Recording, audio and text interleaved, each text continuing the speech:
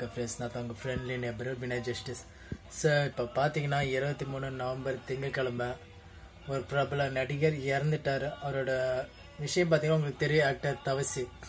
அவர் பார்த்தீங்கன்னா கேன்சரால் ரொம்ப பாதிக்கப்பட்டிருந்தார்.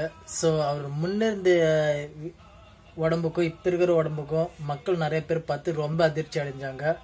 ஏன்னா கேன்சர் வந்தால் உடல் எடை குறையுன்னு தெரியும். ஆனால் இவர் டோட்டலி பார்த்தீங்கன்னா எலும்பு தொலும்பாக இருந்தார்.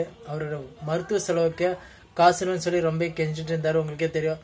நிறைய நடிகர்கள் அந்த நியூஸ் வெளியிட்டதுக்கு அடுத்தது அவர் ஹெல்ப் பண்ண நிறைய பேர் வந்தாங்க. அப்படி இருந்தும் பார்த்தீங்கன்னா இன்னைக்கு இந்த நாள் வந்து அவர் இறந்து விட்டார்.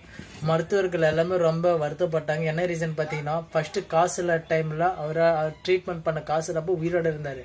ஆனால் இப்போ பார்த்தீங்கன்னா ட்ரீட்மெண்ட்டுக்காக ரோபா சங்கர் சார் திரும்ப சிவகார்த்திகேயன் சூரி விஜய் சேதுபதி ப்ரோ ஸோ எல்லாரும் அவருக்காக மணி தந்தாங்க. அப்படி இருந்து அவர் இன்னைக்கு பார்த்தீங்கன்னா இறந்துட்டார்.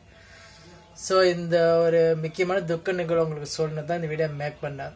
ஸோ அவர் ஆத்மா சாந்தி அடையட்டும். ஏன்னா பார்த்தீங்கன்னா அவர் கடைசியாக நடிச்ச படம் ரஜினி படம் கூட சொல்கிறாங்க நிறைய பேர் அவரை ரொம்ப மிஸ் பண்ணுவாங்க நினைக்கிறேன்.